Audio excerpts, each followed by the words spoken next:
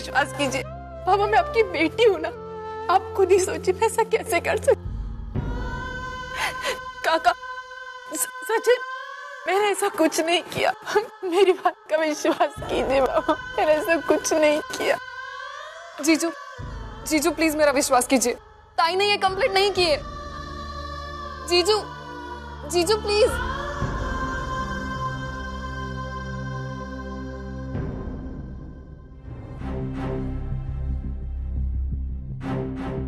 Inspector साहब वो वो आप चिंता मत कीजिए। इन लोगों का इलाज है मेरे पास। आपने जो किया सही किया। एक मिसाल कायम की आप लोगों ने। नहीं नहीं लेकिन आप लोगों की वजह से बाकी औरतें भी सुरक्षित है।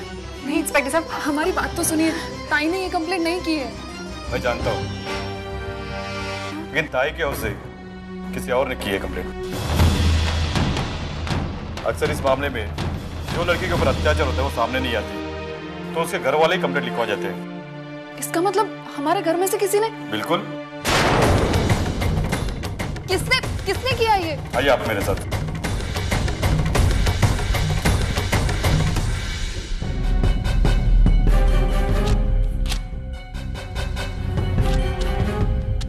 ये देखिए।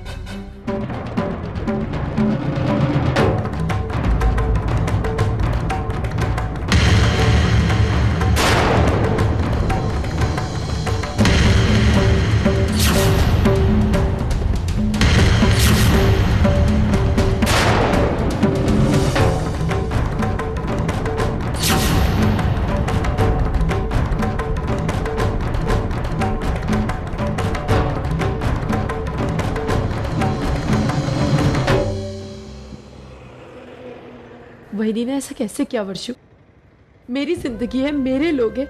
उन्हें फैसला करने का कोई हक नहीं है। मेरा नाम लेकर पुलिस में कंप्लेंट करवाने का क्या अंजाम हो सकता है? ये वो बहुत अच्छी तरीके से जानती थी। फिर भी उन्होंने ऐसा क्यों किया वहीनी ने? ताई मेरी तो कुछ भी समझ में नहीं आ रहा है। वर्षा आज वहीनी की इस एक हरकत से सब कुछ खत्म हो गया। मानव के दिल में जो मेरे लिए जगह थी, आज वो भी आज आज मैंने उनकी आँखों में जो मेरे लिए नफरत देखी है ना, वो मैंने इससे पहले कभी नहीं देखी थी, कभी नहीं। वर्षों में मैं सब कुछ सह सकती हूँ, लेकिन मानव की नज़र में गिरना, ये मैं बर्दाश्त नहीं कर सकती। ताई, तेरे दिल में जीजू के लिए क्या जज्बात है? तू उनसे कितना प्यार करती है ना? मैं सब कुछ जानती हूँ। लेकिन ताई देखना, आज जब तुझे इस बात का एहसास हो गया है, तू खुलेआम सबके सामने इस बात को एक्सेप्ट करने के लिए तैयार हो गई है। पता नहीं कहाँ से ये नई मुसीबत आकर खड़ी हो गई है। लेकिन ताई ताई तू चिंता मत कर, चाहे कुछ भी हो जाए, ये गलतफहमी ज़्यादा दिन तक नहीं रहेगी। जीजू तुझसे बहुत प्यार करते और तुम दोनों का इस तरह से दूर रहना पापा को भी मंजूर नहीं है।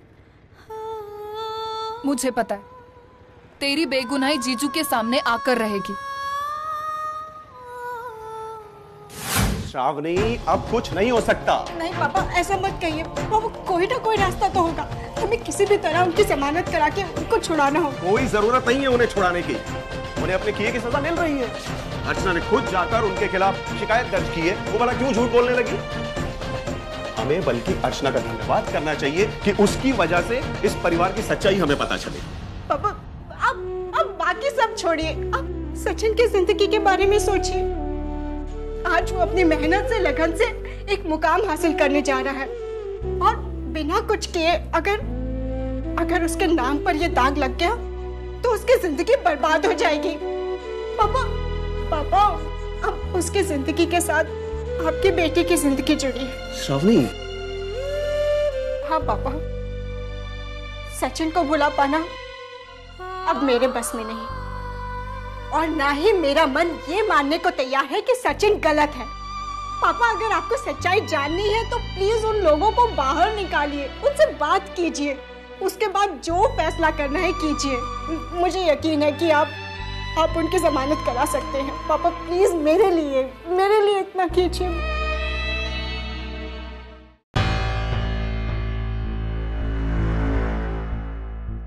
आएगी आएगी। ये लो आ गए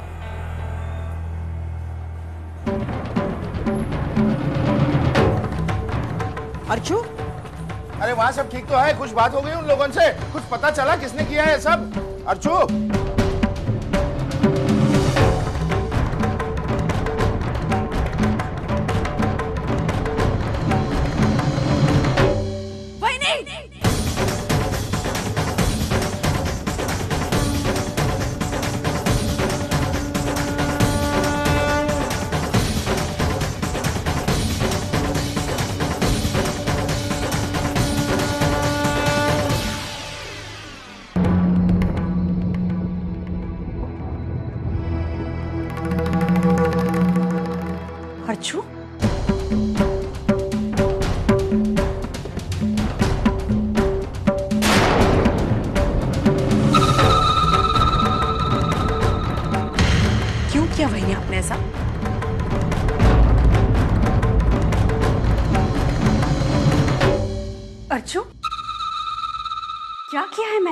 वही आप नहीं जानती कि मैं किस बारे में बात कर रही हूँ?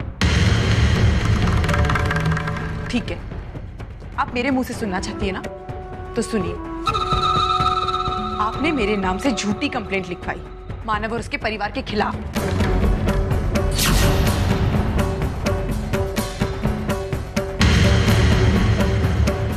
किसने कहा था आपसे ये सब करने के लिए? आपको आपको एहसास है कि आपने क्या किया? है आपकी इस हरकत की वजह से वहाँ उन लोगों पर क्या बीत रही है? क्या कुछ नहीं सह रहे वो लोग वहाँ? जो गुनाह उन लोगों ने किया ही नहीं है, वो उसकी सजा वहाँ भुगत रहे क्या दुश्मनी थी बहनी आपसे उनकी, जो आपने आपने इस मुकाम पर लाकर उन्हें खड़ा कर दिया? मंजू मंजू, तुमने? मंजू, तुम कुछ बोलती क्यों नहीं? अर्चू जो कह रही है, क्या वो सच है?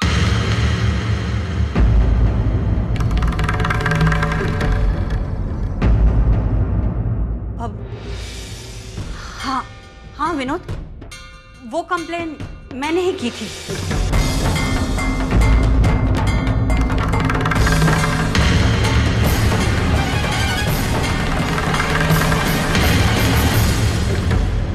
लेकिन क्यों? आई क्योंकि मेरे पास उसके सिवा दूसरा कोई चारा ही नहीं था। उस दिन जब मैं अर्शु को लेकर सचिन की सगाई में गई थी तो वहाँ मानव की आई ने बहुत तमाशा खड़ा किया। उन्होंने मुझे बोला कि वो आपकी और बाबा की एनिवर्सरी में आकर बहुत नाटक करेंगी और एक बार अर्जू को फिर से बदनाम करेंगी। हाय हाय, मैं बहुत डर गई थी। मुझे समझ में नहीं आया कि मैं क्या करूँ। विनू, मैं मैं जानती थी कि उस दिन एनिवर्सरी पे आई सतीश और अर्जू की सगाई की बात करने वाली है। घर में बहुत खुशियों का माहौल था। और मैं नहीं चाहती थी कि घर की खुशियों में कोई भी बाधा डाले। तो इसीलिए आपने उनकी खुशी में आग लगा दी। और उन पर टॉर्चर का झूठा केस फ़ाइल कर दिया बहनी। मैंने कोई झूठा केस फ़ाइल नहीं किया। अरे टॉर्चर सिर्फ़ फिजिकली नहीं होता है। मेंटल टॉर्चर भी होता है। अरे मानो क्या ने हमारे घर पर आकर कई बार हमारे घर की इज़्ज़त पर कीचड़ उछाला है। अरे तुम्हें चरित्रहीन कहा है। क्या वो मेंटली टॉर्चर नहीं था? अरे इसकी गहनों पर कब्जा करके बैठ गई वो। क्या वो भी टॉर्चर नहीं था? अर्जू, अगर इतना सब कुछ होने के बावजूद भी मैंने उनके खिलाफ अगर ये किया है तो क्या गलत किया है मैंने?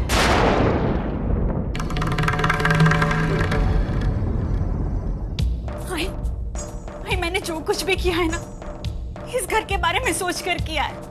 इस घर की खुशियों के लिए किया है। उन्हें जेल भेजते वक्त मुझे कोई खुशी नहीं हो रही थी। लेकिन विश्वास कीजिए ना आई मेरे पास और कोई दूसरा रास्ता ही नहीं था। बाबा। विनोद विनोद, इस घर की इज़्ज़त को बनाए रखने के लिए अगर ये मैंने कदम उठाया तो क्या गलत किया? गलत हो क्या मैं? हाँ आप गलत हैं। आप गलत इसलिए हैं क्योंकि आपने मेरी ज़िंदगी का फैसला मुझसे बिना पूछे लिया।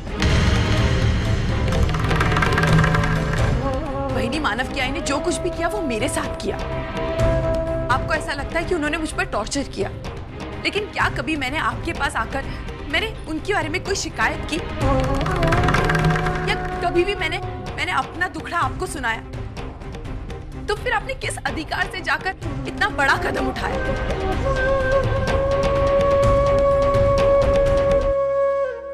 आपको लगता है ना आप सही है?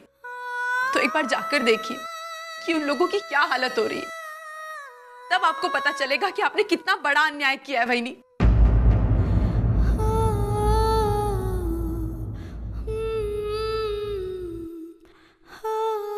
वहीनी किया आपने। लेकिन भुगतना मुझे पड़ेगा। मेरे पत्नी धर्म पर इतना बड़ा लांछन लगा है। उन सबका विश्वास मुझ पर से उठ चुका है।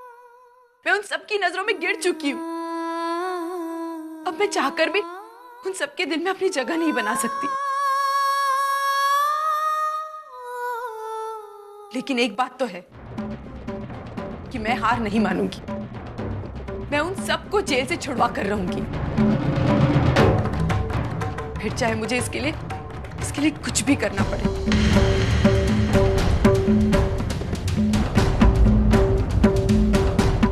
अर्जु अर्जु रुक तो सही।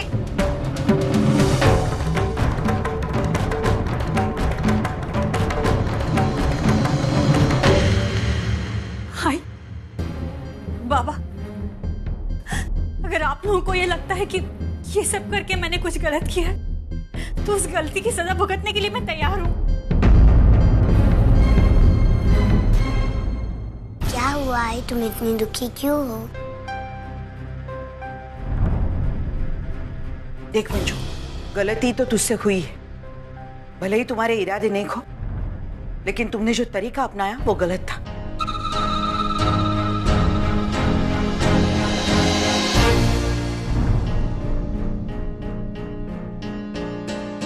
आई मुझे नहीं लगता कि कि मंजू ने कुछ गलत किया है।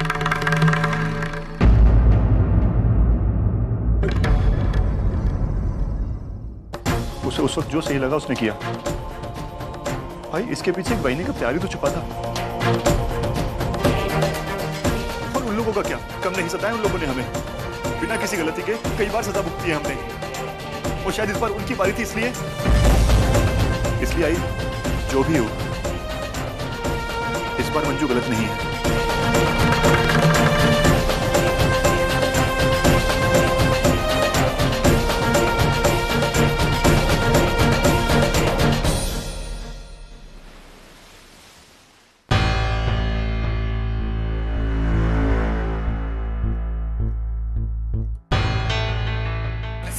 सतीश जी।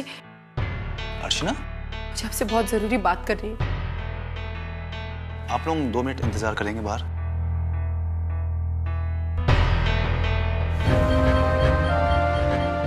क्या हुआ? तुम इतनी घबराई से क्यों? घर में तो सब ठीक है ना? सतीश जी कुछ भी ठीक नहीं। मानव और उसके घर वाले सारे इस वक्त जेल में जेल में? लेकिन क्यों? किस लिए?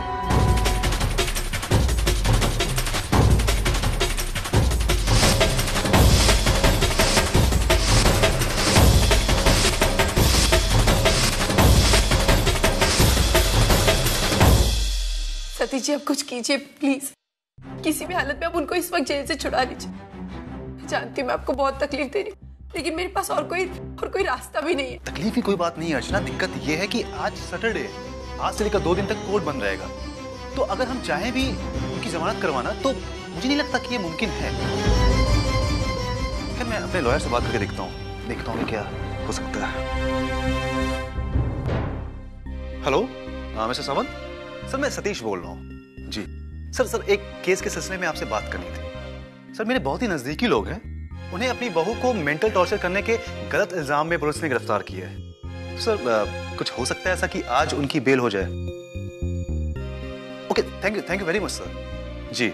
सर बस हम लोग यहाँ से निकल रहे हैं। आधे घंटे में हम लोग पुलिस स्टेशन पहुँच जाएँगे। Thank you very much sir. लगता है काम हो जाएगा। हमें पुलिस स्टेशन चलना होगा। और मिस्टर सावंत हमें वहीं पर मिलेंगे। चलो। Thank you Satish ji. अरे हमारे पास ना वक्त नहीं है कि हम एक दूसरे का शुक्रिया अदा करें। चलो।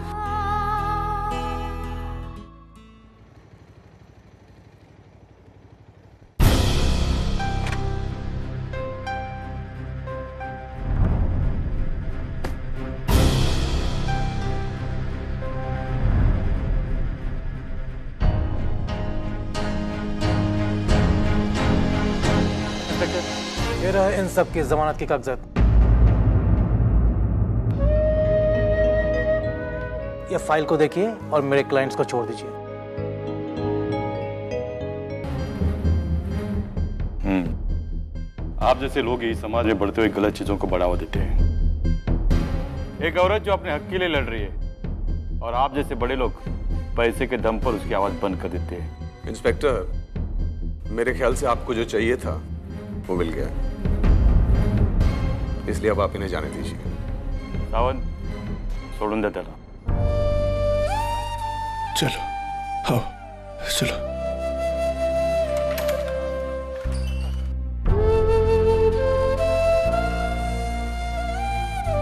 बस आइए आराम से आराम से।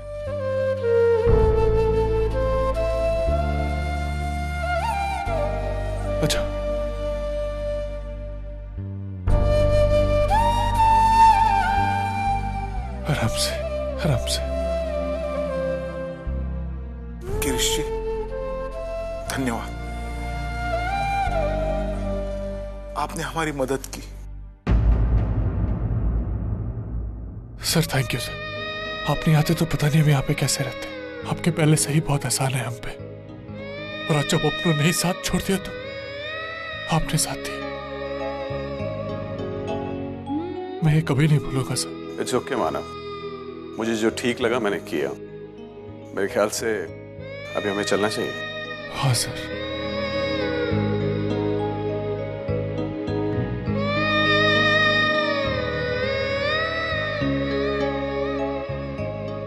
और सुनो।